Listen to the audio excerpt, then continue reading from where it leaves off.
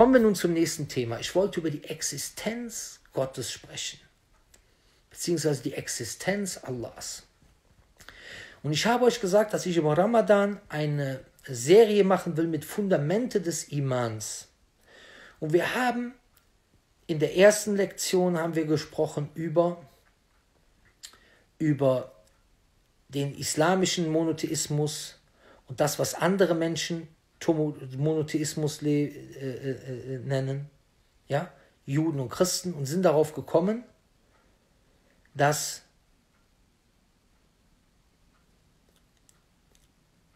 und sind darauf gekommen, dass, ähm, dass aus der islamischen Perspektive die anderen Arten, die Monotheismus genannt werden, kein wirklicher Monotheismus sind, Juden und Christen.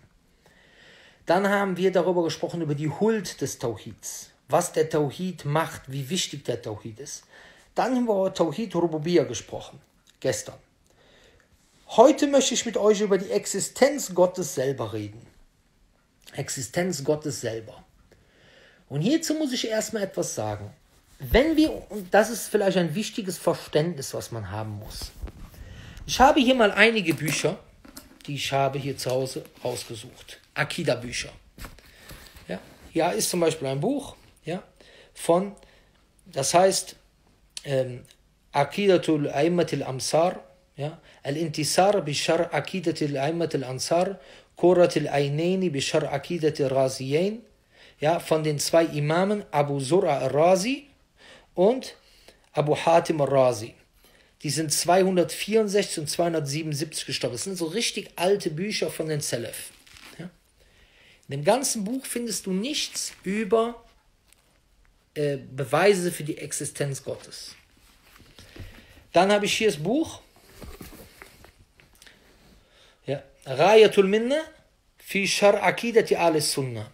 Akidatu al-Sunnah ist ein Metten, den hat Sheikh Uthaymin geschrieben, Rahmallah. Ja, wisst ja schon, ne? von dem nehme ich viel. So. In dem ganzen Buch findet man nichts über Existenz Gottes, in dem Akida-Buch. Kitab Tawhid, auch Shar Uthaymin. man findet nichts über Existenz Gottes. Dann habe ich hier Ma'arj al-Kabul von Hafid al-Hakami. Nichts über, äh, über, die, äh, über, über über die Existenz Allahs. Dann habe ich hier Shar Akida Tahawiyya, nichts über die Existenz Allahs. Beweise oder so dafür. Und hier muss man sich einer sagen, warum ist das so?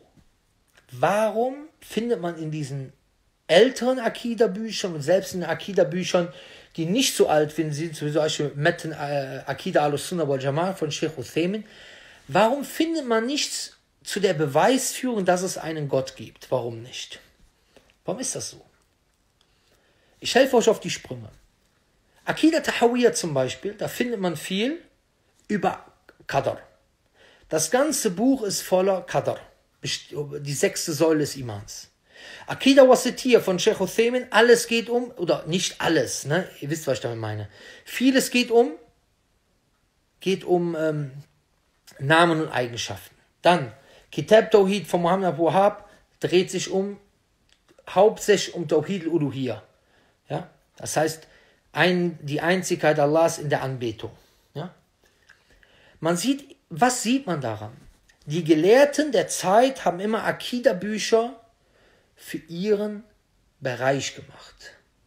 Für das, was gerade die Fitner des Tages gewesen ist.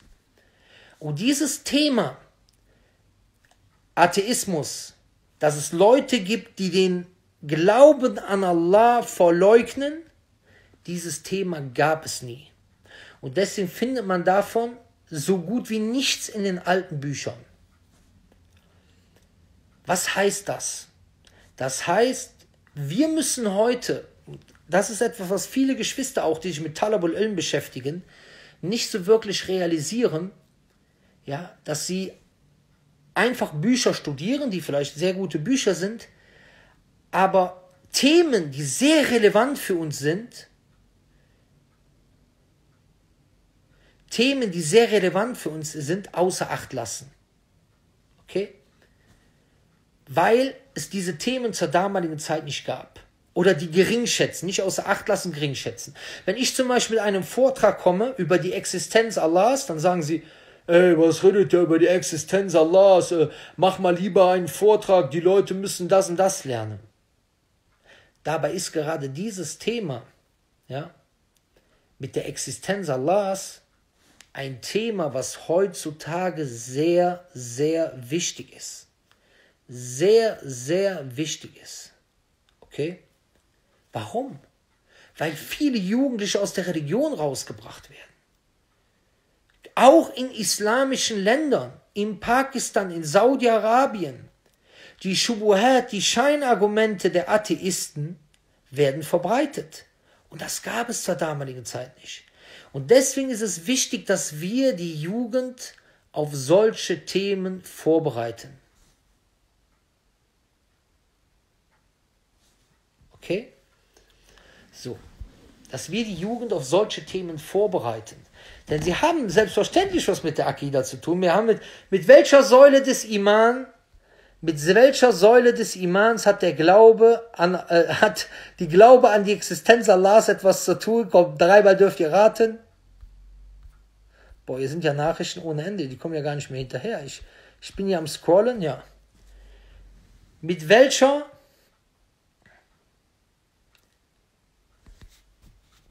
Die Erde ist laut Ibn Taymiyyah nicht flach, sondern er sagt, dass ala ard. Die, die Gelehrten sind sich einig, dass die Erde rund, rundlich ist. Deswegen bitte keinen Schwachsinn labern. Okay. Der Glaube an Allah, genau, die erste Säule.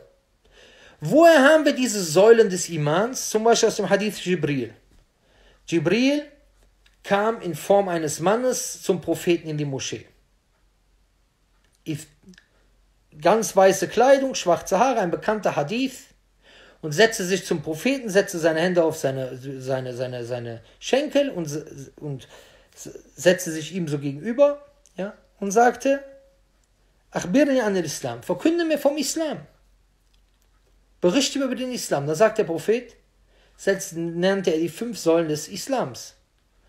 أن تؤمن بالله وملائكته أن أن أن أن أن تشهد أن لا أن تشهد أن لا إله إلا الله وأن محمد رسول الله وتقيم الصلاة وتؤتي الزكاة وتصوم رمضان وتحج البيت إن استطعت إليه سبيلا.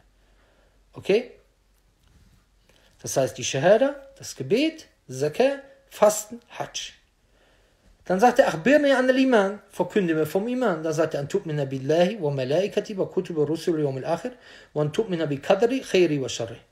Dass du an Allah glaubst und seine Engel und seine Bücher und seine Propheten am jüngsten Tag und den Kadern mit seinem Guten und seinen Schlechten. Das heißt, der Glaube an Allah ist die erste Säule des Imans. Die erste Säule des Imans. Und natürlich gehört dazu der Glaube an die Existenz Allahs.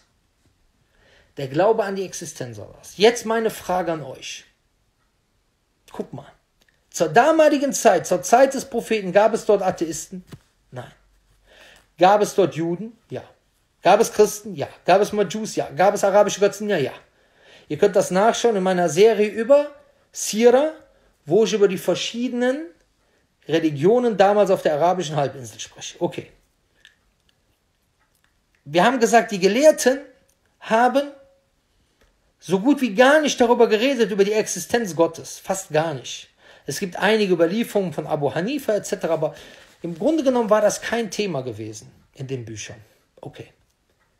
Wo ist ein Vers im Koran, der bis heute, bis heute der absolute Maßstab ist für die Widerlegung der Atheisten. Bis heute. Es ist ein Vers und der gibt einen, einen Weg, wie man mit einem Atheisten diskutiert. Wo ist er? Komm, Jungs, Mädels. ja, Götzen sind falsche Götter. Falsche Götter. Alia Batila.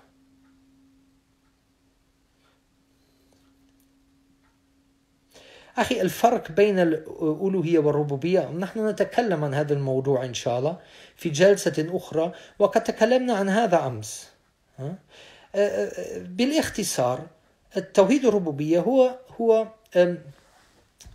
هو إفراد الله بأفعاله أو أو بما يختص به من من من من الخلق من معاني الخلق والملك والتدبير هذا تعريف للربوبية والألوهية هو إفراد الله بالعبادة Sehr gut, Jesse 95. Super, super. Sehr gut. Du hast den Vers nicht ganz gesagt, aber du weißt, was ich meine. Sure 52, Vers 35. Em khuliku min ghairi shay'in em humul khalikun. Sind sie aus dem Nichts erschaffen worden oder haben sie sich selber erschaffen? Sind sie aus dem Nichts erschaffen worden oder haben sie sich selber erschaffen? Denn wenn wir uns bewusst sind, dass diese Welt real ist, um uns herum alles ist real, okay? Und alles, was wir haben, hat eine genaue Ordnung und einen genauen Plan. Eine kleine, ein kleines Detail verändert sich, alles bricht zusammen. Wenn die Erde nur ein wenig näher zur Sonne wäre, alles würde verbrennen. Wäre die etwas weiter weg, alles würde erfrieren. Die Ozonschicht, wenn es sie nicht gäbe, die Strahlen würden uns vernichten. Wenn die Luftzusammensetzung ein bisschen anders wäre, ja, mit Kohlenmonoxid und Sauerstoff etc., würde alles kaputt gehen. Okay? Jetzt. Wie kann so etwas zustande kommen? Entweder es hat sich selber hervorgebracht oder oder es ist einfach so entstanden aus dem Nichts. Oder es hat einen Schöpfer. Das heißt, haben sie sich selber erschaffen, sind sie aus dem Nichts entstanden und haben sich selber erschaffen. Genau das steht dort. Das ist eine ganz logische Herangehensweise zur damaligen Zeit. So, jetzt können wir ausschließen, dass sich das Universum einfach so entstanden ist? Von nichts kommt nichts. Wenn du zum Beispiel jetzt bei dir, ihr sitzt wahrscheinlich bei euch zu Hause. Wenn du jetzt aus deinem Raum rausgehen würdest und mauerst die Tür zu, du machst eine Mauer hin und kommst 20 Jahre später, machst die Tür auf, da wird da kein Elefant aus dem Raum rausgelaufen kommen. Wo soll der herkommen? Von nichts kommt nichts. Das ist eine ganz rationale Herangehensweise. Zweite Sache, und hier sieht man, wie der Islam den Verstand anspricht. Die nächste Sache,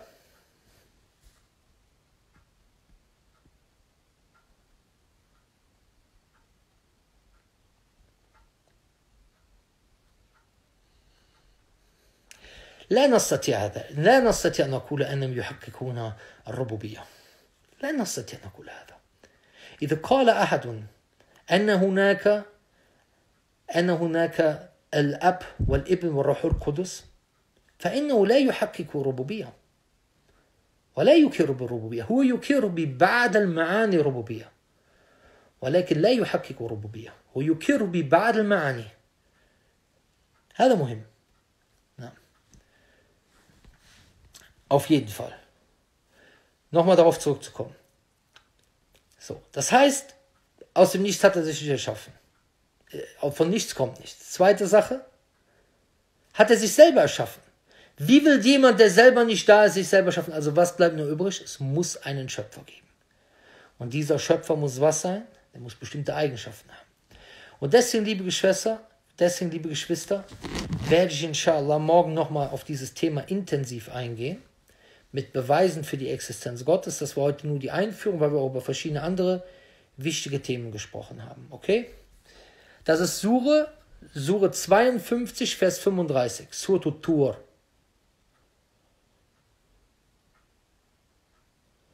Natürlich. Wenn jemand Hanafi Madhab ist, sollte er dann trotzdem Videos und Wissen von anderen nehmen? Natürlich nicht. Natürlich, was ist dabei? Leute, sowas ist doch alles nur, guck mal, Leute, die einem sowas erzählen, du darfst kein Wissen nehmen von jemandem, der einer anderen Meinung und so weiter ist. Das sind doch Leute, denen geht es um Macht. Denen geht es um Machtgier. Die wollen dich nur halten, die haben Angst, dass du irgendetwas anderes als richtig erkennst. So. Wisst ihr, wie die Gelehrten sind? Zum Beispiel, äh, äh Sheikh Uthaymin rahimahullah beispielsweise, er hat kein Problem damit, wenn du zu ihm kommst und du betest anders. Aber hier gibt es manche, du, du, der geht zum Beispiel mit den Knien auf den Boden. Wenn du da hinkommst, du gehst mit den Händen auf den Boden, sagt er, ja, ich läuft zwischen den Gelehrten, kein Problem.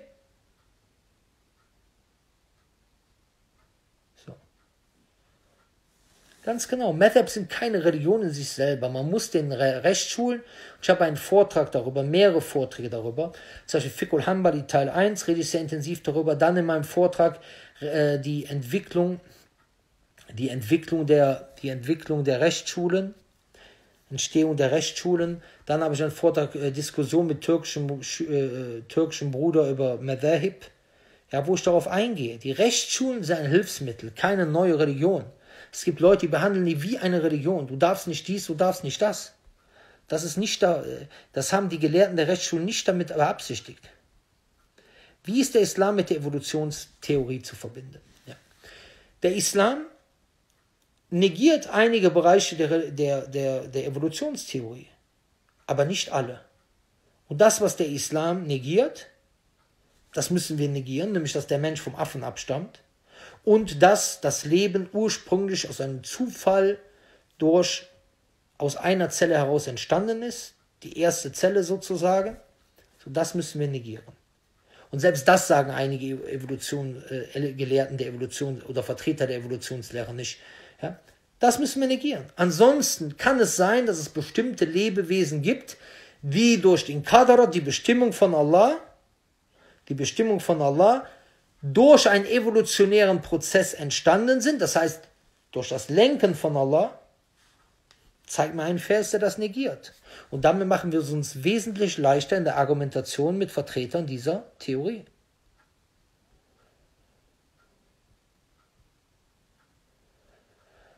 Das ist Unfug. Welche Tochter des Propheten soll er denn getötet haben?